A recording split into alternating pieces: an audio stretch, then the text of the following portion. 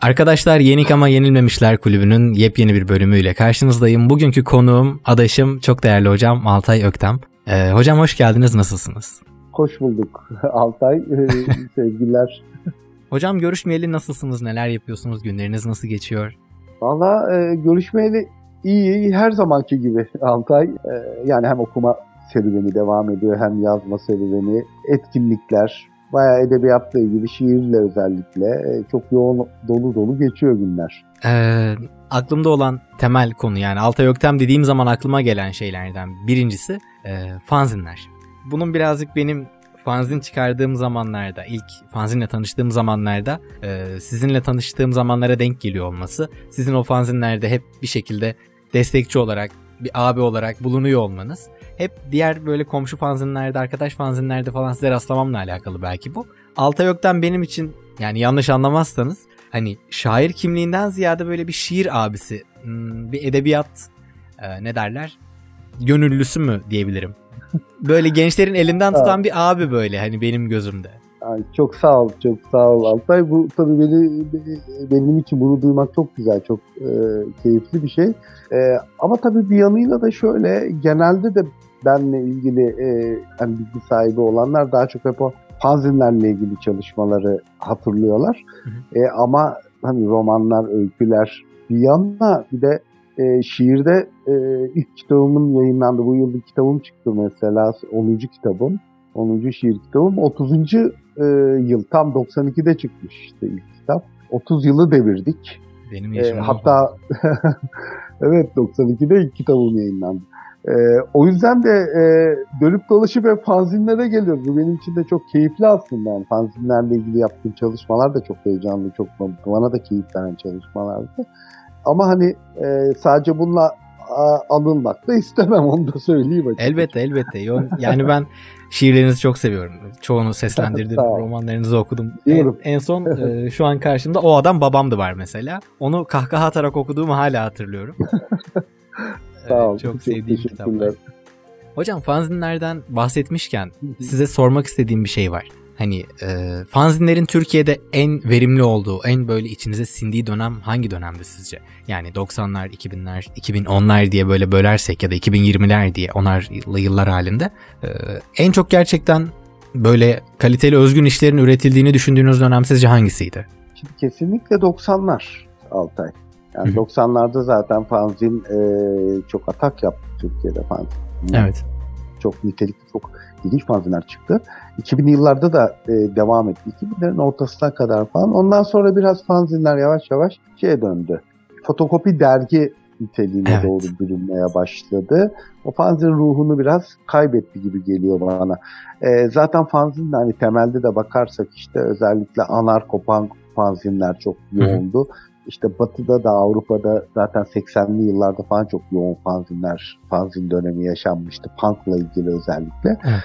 Ee. Bize de o biraz böyle 90'lara doğru kaydı. Ama ondan sonra özellikle de yavaş yavaş hayatın dijitalleşmesiyle birlikte yani fanzinlerde daha standart zaten elle kes yapıştır tekniğiyle yapış, yapılan fanzinler artık bilgisayarda yapılmaya başlandı. O zaman tek tip bir ruh oluyor zaten. Ee, artık fanzinde dediğim gibi biraz dergi niteliğine fotokopiyle yapılan dergilere benzemeye başladı.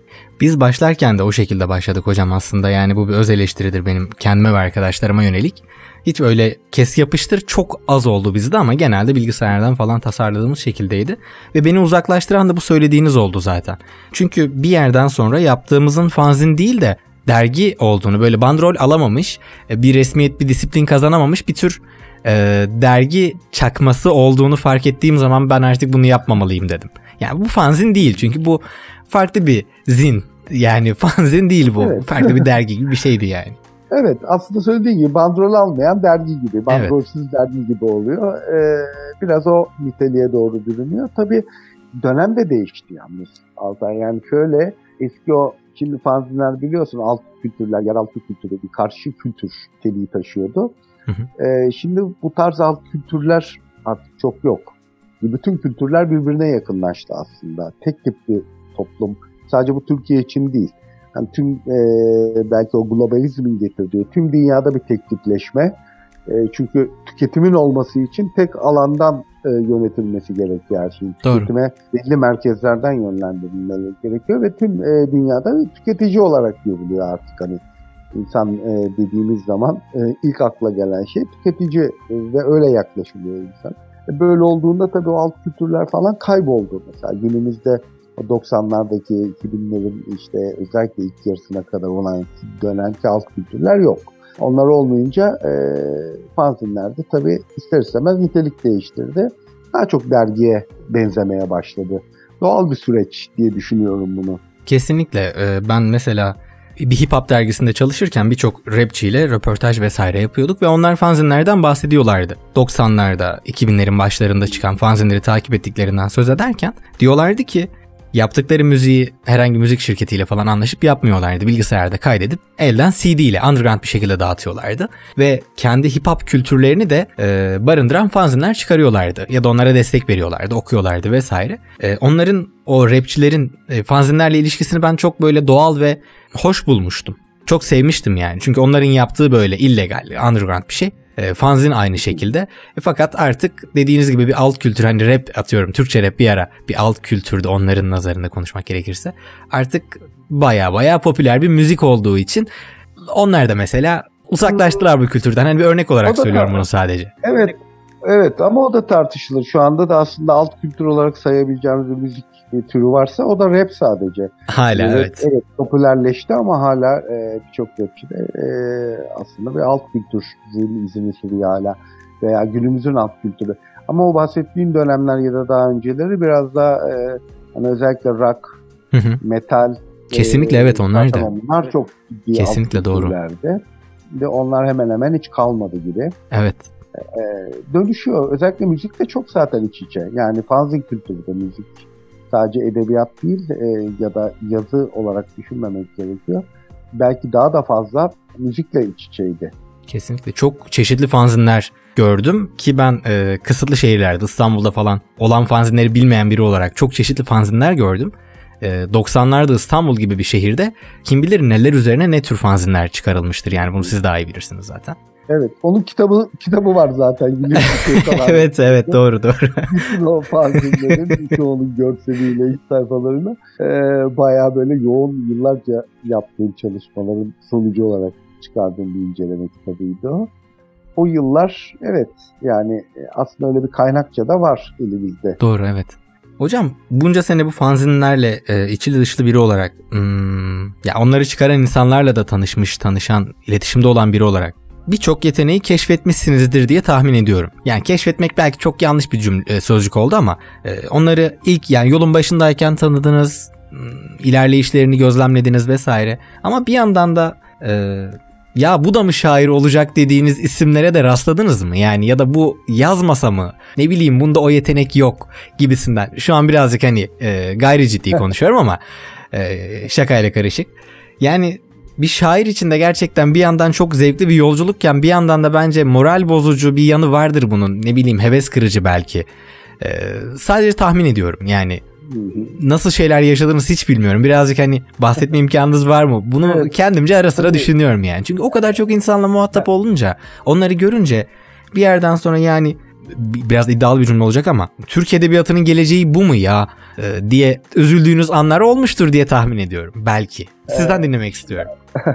tamam Altay e, ya e, değişik bir yere parmak bastın ama şimdi bu tabii şeyle ilgili değil. Yani bir, şöyle ikiye ayırabilirim konuyu. Bir tanesi gerçekten söylediğin gibi hani fanzinleri çıkartan kişilerin de e, çok fazla fanzinciyle de tanıştım. Hani birlikte yol aldık. Sa, e, sadece o da değil.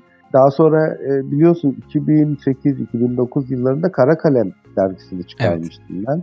E, önce Yüksek Ses Kara Kalem sonra e, yine Turgut'la beraber e, 46 Kale Kalem olarak son iki sayısını yayınladık. Şimdi Kara Kalem'de de şöyle bir şeyimiz vardı. Zaten orada da o dönemin alt kültürleri. Zaten dergi de böyle biliyorsun siyah sayfanın üzerine beyaz evet. yazılarla işte kırmızı e, kabak çok gotik bir tarzı evet, da vardı. Evet, evet. İçerik de öyleydi. Şimdi orada da fanzin değil dergi ama o dergide de gene yazanlar hep genç. Yani dergini şöyle söyleyeyim her sayı en az e, yazarların %80'i ilk ürünlerini yayınlayan isimlerdi. Şiir olsun, yazı olsun, öykü e, ya da deneme olsun ya da çizim olsun. E, böyle bir şey vardı yani gençlerin neredeyse çıkardığı ben sadece hani başlarında bir abi gibi duruyordum. Ben zaten bütün dergiyi onlarla planladım.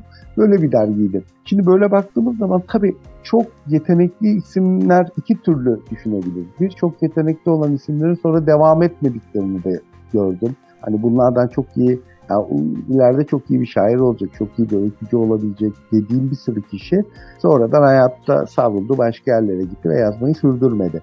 Tam tersine e, başarısız olanları da gördüm. Yani bu doğal fakat bunun doğrudan fanzinlere ilişkisi yok. Şimdi bunca yıl edebiyatın içinde olunca e, dergilerde de aynı süreç var zaten. Yani Doğru. E, bir dönem çok popüler o popüler demeyeyim de sık sık işte şiirlerine, öykülerine, ürünlerine rastladığımız isimlerin ya hani senin tarzın olmuyor. Ya çok başarılı da değil bu niye böyle her yerde dediğim de oluyor. Ya da çok e, sevdiğin, çok ilerleyeceğini düşündüğün kişilerin sonra edebiyattan bir yandan e, uzaklaştıklarını ve çok devam etmediklerini de görüyorsun. Ona da üzülebiliyorsun ama bu herkesin hissedeceği bir şey. Yani bu beğeniyle ilgili çünkü. O yüzden hani doğrudan fanzine de bağlamak e, çok doğru olmayabilir. Ama tabii fanzin artı dergi artı edebiyatın başka alanları olunca artı etkinliklerle de çok yoğun geçti benim zamanım. Ee, böyle de olunca tabii dediğin gibi çok fazla kişi tanıdım evet. ama çok fazla kişiyi de takip ettim. Ee, orada tabii başarılı olanlarda, başarısız olanlarda çok fazla kişi görmüş oldum. Ama zaten e, bu doğal bir süreç böyle olması da gayet normal diye düşünüyorum. Doğru doğru hocam kesinlikle. Yani fanzin örneğini sadece başta da söylediğim gibi siz bir fanzin abisi, bir şiir abisi olarak gördüğüm için oradan devam etmek istedim. O yüzden fanzin evet. diye belirttim. Ee, bir sorum daha var ama birazcık yine böyle sizi politikaya doğru çekiyorum esasında. Hadi bakalım. Bizim e, bu podcast programı dışında arkadaşım Fatih ile beraber yaptığımız bir program daha var. Orada böyle e, saatlerce konuşup içinden çıkamadığımız bir konu vardı. Sizi bulmuşken onu ben size sormak istiyorum. Herhangi bir isim falan vermeden soracağım. Bir şairin, yazarın, hı hı. bir edebiyatçının diyelim. E, yazdıklarını o kişinin kişiliğinden, karakterinden, hmm, özel hayatında yaptıklarından bağımsız bir şekilde ele almak doğru mudur, yanlış mıdır? Yani ne bileyim işte alkoliktir, kumarbazdır, e, çok kötü suçlara karışmıştır ama çok iyi metinler yazıyordur gibi. Hep böyle tartışılır ya bunun etiği. E, sanatçı eserinden bağımsız olarak mı değerlendirmelidir, eseriyle bir bütün müdür? Siz bu konuda ne düşünüyorsunuz? Bunun doğrusu yanlışı var mıdır? Biz biz işin içinden çıkamadık hocam. Bunu hep konuştuk. Yani bir doğrusunu veya bir yanlışını bulamadık bunun. Yani sizin düşüncenizi ben merak ediyorum esasında. Net bir cevabı olduğunu da düşünmüyorum sorarken ama Düşünceniz bize bir perspektif evet. olabilir yani. Evet. Şimdi Altay aslında e, çok karmaşık bir konuda değil bu. Öyleymiş gibi görünüyor ilk bakışta ama aslında net bir cevabı var. Hı. Çünkü edebiyattan bahsediyorsak edebiyat dediğimiz metindir. Yani asıl olan metindir. Doğru. E, metne bakmak gerekiyor o kadar. Yani onun dışında şunu yalnız söyleyebiliriz. Metne bakarken zaten konunun karıştığı, kafa karıştırdığı e, nokta da şu. Her yazarın aslında hayatı, özellikle şiirde daha belirgindir bu kişinin metnine yansır. Yani metninden bağımsız olmaz. O kişi neyse onun duruşu, hayata bakışı veya kişiliği elbette ki o metni oluştururken e, onun da etkisi metne sızar. Özellikle şiir de daha da yoğundur bu. E, diğer e, kurgu yapıtlarda tamamen farklı kurgular yapalı, yakalayabilse de insan şiirde istediği kadar kendini gizlesin, kendini de bir şekilde açığa vurur. Doğru bu noktada biz baktığımızda e, metne yansımasından dolayı e, yazarla yazarın metnini hep bir arada da bir yanıyla ele almaya çalışıyoruz ama e, son bağlamda metindir önemli olan. Yani birçok yazar var ki ben e, yazarların hayatlarını çok iyi de bilmiyorum. Hani çok tanıdık diyelim Dostoyevski'nin hayatını biliyorsun, Kafka'nın Hani çok e, tanınmış yazarların elbette birçok şey duyuyoruz, okuyoruz falan. Ama e, öyle yazarlar oluyor ki yani çok fazla bir bilgim yok aslında. Hani ama romanını okuyorsun, şiirini okuyorsun. Çok hoşuna. Ondan sonra gerekirse araştırabiliyorsun. E, zaman geçtiğinde üzerinden e, artık yazarın özel hayatına bakmıyoruz. Ama yaşarken e, o kişi yaşıyorsa e, zaten doğrudan onun yaşadıkları bir haber niteliği de taşıdığı için evet. eğer özellikle de böyle kriminal bir takım şeyler varsa ya da işte etik bir takım sorunlar varsa e, ona da bak bakmak zorunda kalıyoruz. O yüzden belki yanlış etkileniyoruz. Ama temeldeki olay edebiyattan söz ediyorsak metne bakacağız. Yani yazarın kim olduğu, ahlaki yapısı, dini işte inançları veya inançsızlığı ya da siyasi duruşu falan e, ikinci plandadır. Metne yansıdığı kadar önemlidir bence. Yani biz de konuşurken evet yani bu kesinlikle doğru ama işte yazılarında sağlıktan bahsediyor, özel hayatında uyuşturucu kullanıyor. Yazılarında adaletten bahsediyor, gerçek hayatında adaletsizlik yapıyor vesaire vesaire. Bu ne kadar samimidir vesaire vesaire üzerinden bayağı konuştuk ama biz iki arkadaş bunun içinden çıkamamıştık ama bakış açısı evet yani birazcık daha rahatlatıcı. E sadece biz millet olarak, toplum olarak belki birazcık magazin sever bir toplum olduğumuz için ölüp gitmiş yazarlarda değil de yaşayanlarda zaten bu sorunu bence yaşıyoruz. Hani A partisine oy vermiş, B inancına geçmiş, C olayına karışmış vesaire vesaire diye kitaplar ne bileyim işte filmler bir tarafa bırakılıyor. Onun özel hayatı gündem oluyor bu ülkede malum. O da bizim magazin severliğimize bağlıyorum yani. O yüzden bu kadar kafaya takıyoruz belki biz de. Evet sadece magazin severlik de değil biraz e, şey de var tabii. Çok hassas yani yaşadığımız dönem gereği de e, her şeye çok hassas bakıyor insanlar. E, herkes çok böyle e, özellikle etik alanlarda her şeyi çok fazla etkileniyor ve kurcalıyor. İşte yaşayan yazarları da öyle bakılabiliyor ya da tüm sanatçılara. Ama e, sonuçta şey bir sanat tabii zamansız bir şey aynı zamanda da. Kesinlikle. 10 sene sonra 20 sene sonra onun yazarının yaşadıkları unutulacaktır. Belki 100 sene sonra hiç akla gelmeyecektir ama metin iyiyse, iyi bir romansa, iyi bir şiirse öyle bakarız. Baki kalacak. Yani doğru.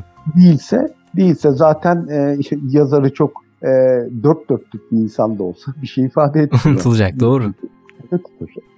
Şöyle sorayım hocam.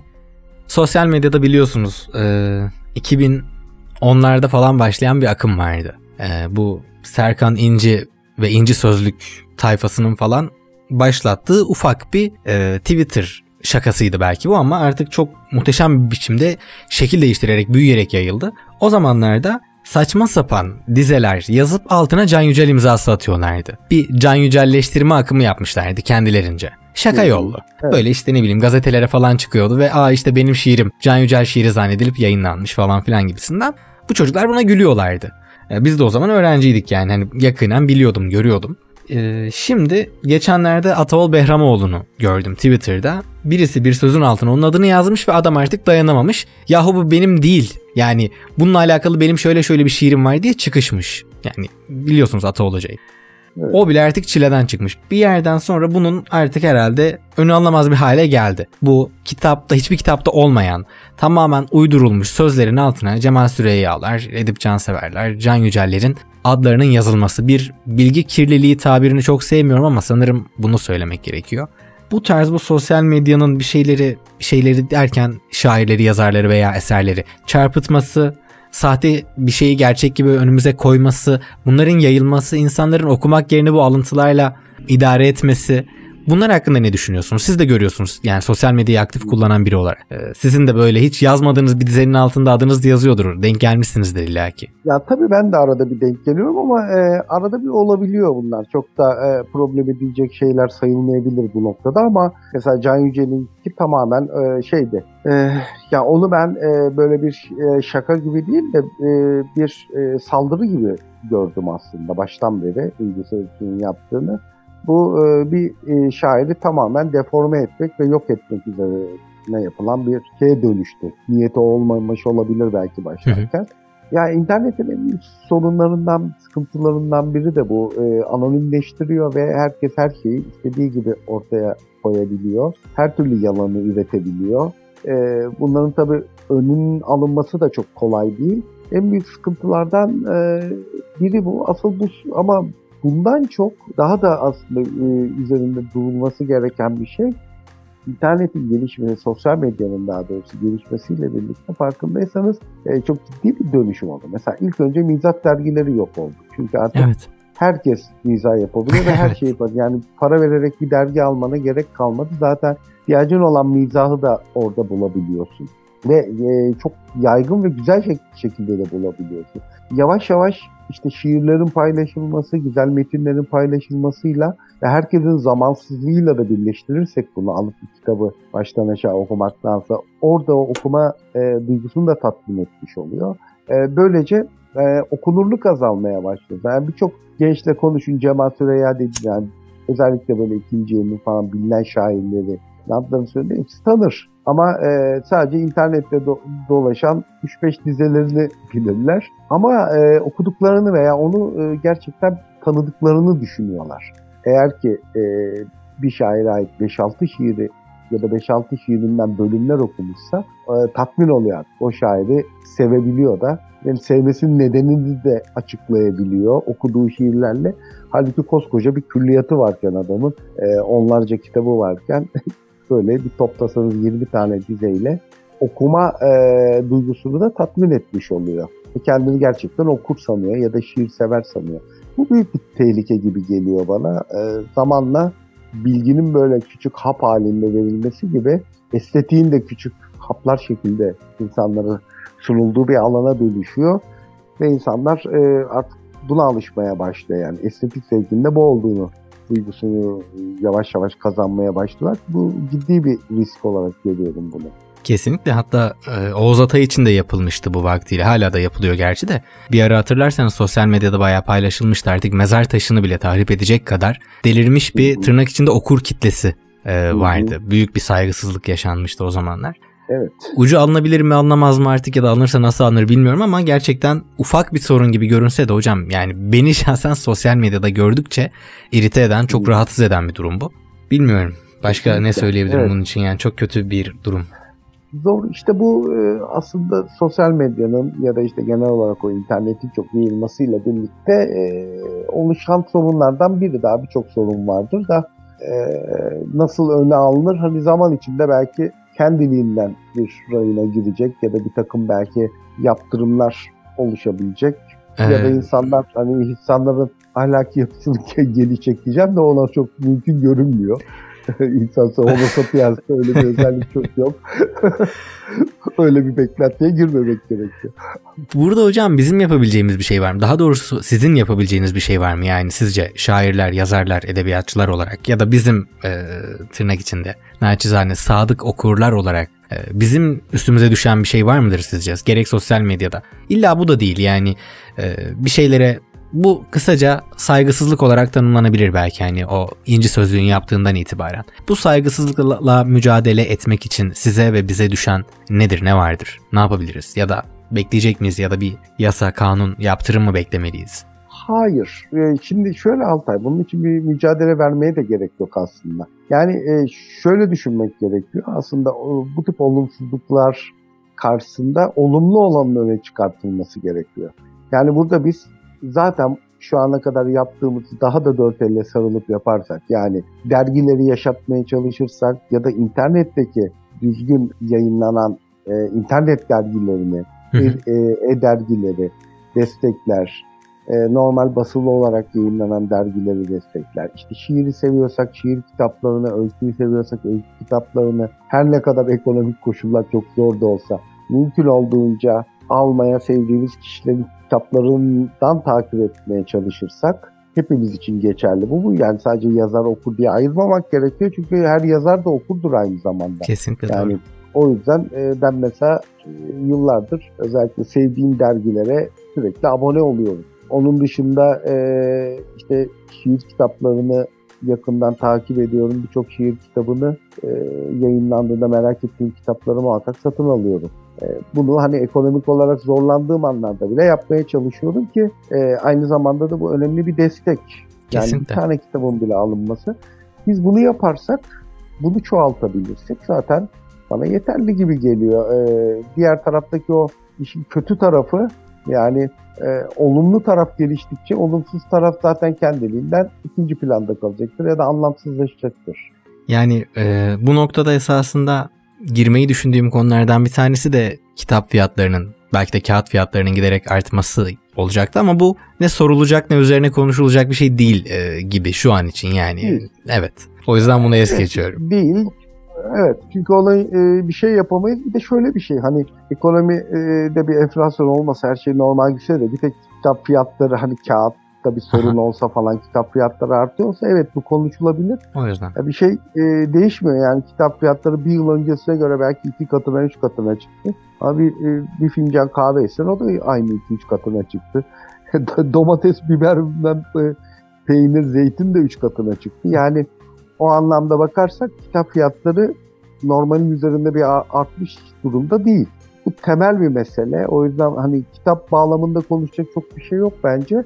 Asıl bu ekonominin en azından e, düzelmesi ve iyi yönetilebilmesi için ne yapılır ona bakılması gerekiyor. O zaman her şeyle birlikte kitap fiyatları da daha makul Kesinlikle. E, gelecektir. Ya, o yüzden zaten soruyu direkt es geçtim hani. Evet. Sora yazdım böyle birazcık.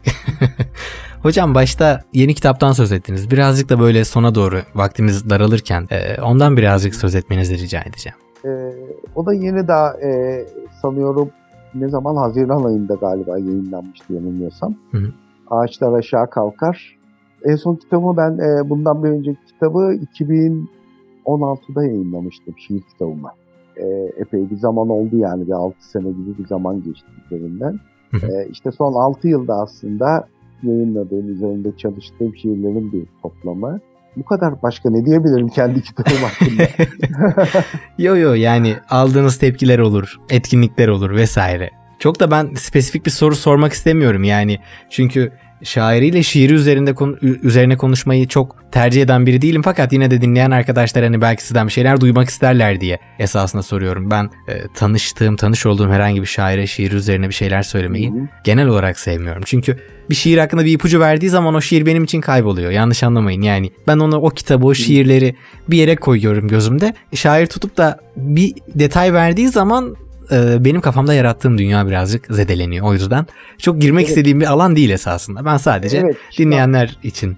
Kesinlikle yani genel olarak konuşulabilir bir şiirden ya da şiir kitabından e, hani özelinde bile bir şiir kitabın. Ama tabii detaylara girilip konuşulduğunda olmuyor çünkü şiiri biliyorsun bir şeydir. Herkese farklı çağrışımlar yaratabiliyor. Bir düşünce ve duygu zenginliğidir aslında. O yüzden de şiirler üzerine böyle benim de bir şey söylemem kendi şiirlerimin üzerinde doğru olmaz. Söylediğim zaman çünkü okuru da etkilemiş olurum. O belki benim söylediklerimden çok farklı bir çağrışım alacaktır o şiirleri okuduğumda. Ama e, genel olarak şunu söyleyebiliriz.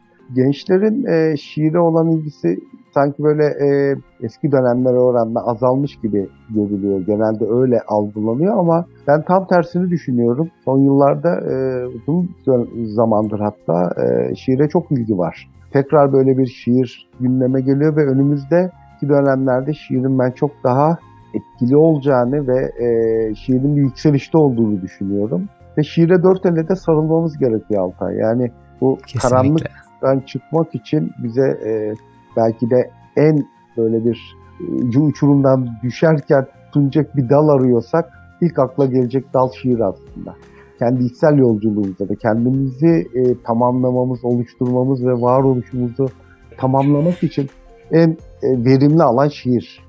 Ee, geçenlerde yayınladığım bir antoloji albümüm var benim böyle 6 bölümlük 240 şiirden oluşan bir seslendirme albümü hazırlıyorum. İlk 40 parçasını yayınladığımda içinde e, sizin de enkaz şiirinizi seslendirmiştim hocam. Girişi Bülent Ecevit'in Niçin Şiir diye bir metni vardı şiir kitabının başında onunla yapmıştım.